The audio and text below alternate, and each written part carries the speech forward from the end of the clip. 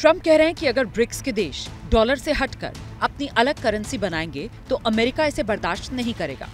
Trump ने कहा, हमें इन देशों से एक प्रतिबद्धता की ज़रूरत है कि वो ना तो एक नई ब्रिक्स करेंसी बनाएँगे और ना ही शक्तिशाली अमेरिकी डॉलर को बदलने के लिए किसी दूसरी करेंसी का समर्थन करेंगे।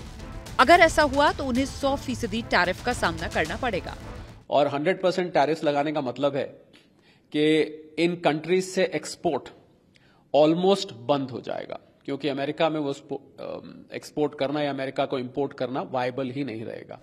अभी दुनिया का ज़्यादातर व्यापार अमेरिकी डॉलर में ही होता है। एक्सपर्ट्स के मुताबिक फ़िलहाल अट्ठासी फ़ीसदी इंटरनेशनल लेन देन डॉलर में होता है।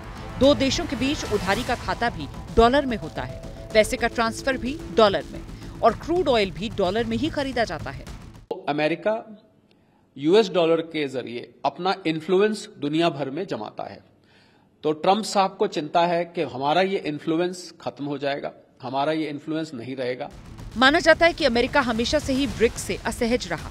ये दुनिया का दूसरा बड़ा संगठन है। इसमें ब्राज़ील, रूस, भारत, चीन, साउथ अफ्रीका और अब ईरान, मिस्र, इथोपिया और यूएई भी साथ हैं। 2023 में पंद्रहवें ब्रिक्स समिट के दौरान जहानसबर्ग में ब्रिक्स की एक अलग करेंसी बनाने का प्रपोजल आया।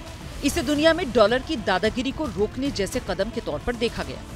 तो ऐसा देखा गया है कि जो डेवलपिंग कंट्रीज़ हैं, उसमें जब यूएस डॉलर के रिजर्व्स खत्म होने लगते हैं तो उन कंपनीज़ के लिए अपना ज़रूरी सामान इंपोर्ट करना भी कठिन हो जाता है। इस समस्या को देखते हुए ब्रिक्स ने ये फैसला किया था कि हम फैसला क्या, उन्होंने एक तरह से इस पर विचार किया है। अभी तो लाने की कोई वो नहीं है, इस पर विचार चल रहा है कि हम एक अपनी करेंसी निकालें ब्रिक्स, जिससे हमारी डॉलर पर निर्भरता कम हो सके। हालाँकि भारत ने इस आइडिया का समर्थन नहीं किया था। विदेश मंत्री एस जयशंकर ने प्रपोजल को खारिज करते हुए कहा था, ब्रिक्स मुद्रा का कोई विचार नहीं। आने वाले लंबे समय तक मुद्राएँ एक राष्ट्रीय मुद्दा बनी रहेंगी।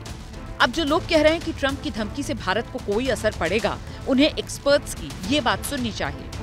तो देखिए, भारत बिल्कुल भी इसके समर्थन में नहीं है जो डॉलर को रिप्लेस करके एक और ब्रिक्स करेंसी बनाई जाए या कोई अल्टरनेटिव करेंसी बनाई जाए। तो इसीलिए भारत तो जो अपना व्यापार करता है वो डॉलर में करने से बहुत हमें कोई इसमें दिक्कत नहीं है हमें कोई इसमें चिंता की बात नहीं है माना जाता है भारत की विदेश नीति अभी ऐसे मोड़ पर है जहाँ वर्ल्ड ऑर्डर चाहे जैसा भी बदल जाए हर मुश्किल घड़ी से भारत निकल सकता है For exclusive and insightful videos, subscribe to our new channel ABP Live Premium.